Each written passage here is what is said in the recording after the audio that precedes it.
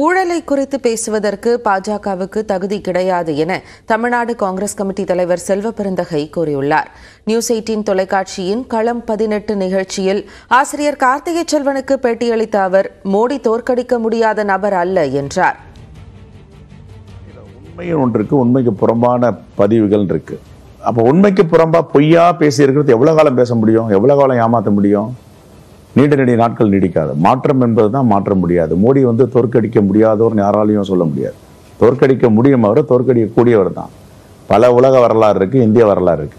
இப்போ வாஜ்பாயை விட ஒரு சிறந்த பிரதமர்னு அவங்க கட்சிக்காரங்களை ஒத்துக்க மாட்டாங்க. ஆர்எஸ்எஸ்ஸை ஒத்துக்காதது செல்வ பெருந்தகை பங்கேற்ற களம் பதினெட்டு நிகழ்ச்சி இன்று காலை ஒன்பது முப்பது மணிக்கு ஒளிபரப்பாகும்.